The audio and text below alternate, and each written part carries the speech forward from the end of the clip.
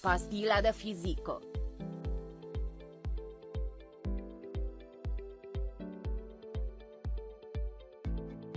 Câmpul magnetic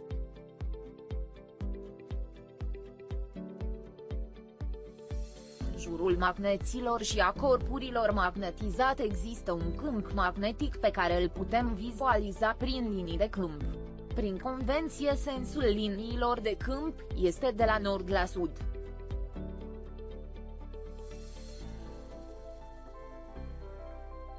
Iată cum arată câmpul magnetic al unui magnet bară și al unui magnet potcoavă. Pentru a vizualiza liniile de câmp magnetic se poate utiliza pilitura de fier, care este presărată peste o hârtie albă în mod uniform. Se așează apoi magnetul de desubtul hârtiei. Pilitura de fier se va aranja de-a lungul liniilor de câmp al magnetului respectiv.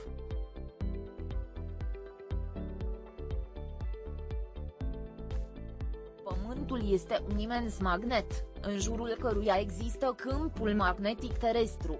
Polul nord magnetic al Pământului se află în vecinătatea polului sud geografic, iar polul sud magnetic se află în vecinătatea polului nord geografic.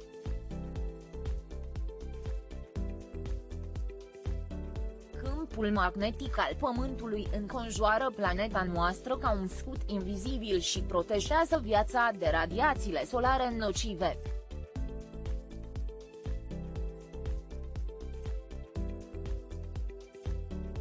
Busola este formată dintr-un ac magnetic mobil în jurul unui ax vertical, așezat în centrul unui cadran pe care sunt marcate punctele cardinale.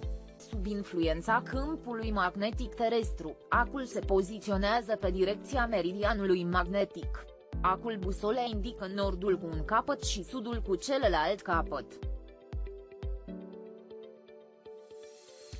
Pentru a construi o busolă ai nevoie de un dop de plută, un ac de cusut gros, un magnet, o carioca și un vas cu apă. Începe cu magnetizarea acului freacă o jumătate de ac de unul dintre poli, cealaltă jumătate de cel de-al doilea pol. Pune acul astfel magnetizat prin dopul de plută, pe care notez cu carioca punctele cardinale. Așează dopul cu ac pe apă. Deoarece acul se poate învârti liber acesta se va alinia pe direcția nord-sud.